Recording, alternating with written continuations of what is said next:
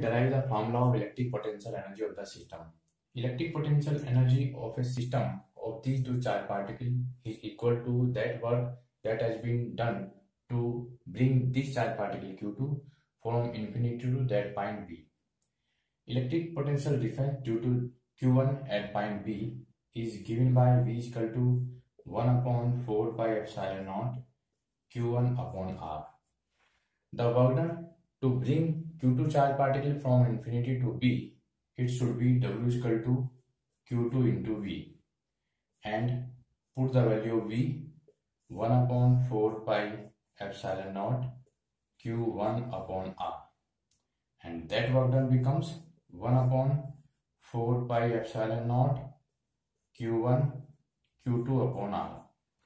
This work done is stored in the form of electric potential energy inside the system and it becomes U is equal to 1 upon 4 pi epsilon naught Q1 Q2 upon R.